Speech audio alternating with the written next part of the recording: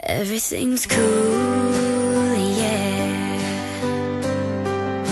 It's all gonna be okay, yeah. And I know maybe I'll even laugh about it someday, but not today.